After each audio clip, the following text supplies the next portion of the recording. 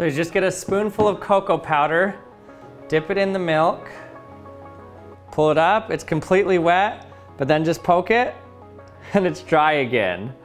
Look at that. See if this works with water. Put it in the water, then poke it, and it's dry.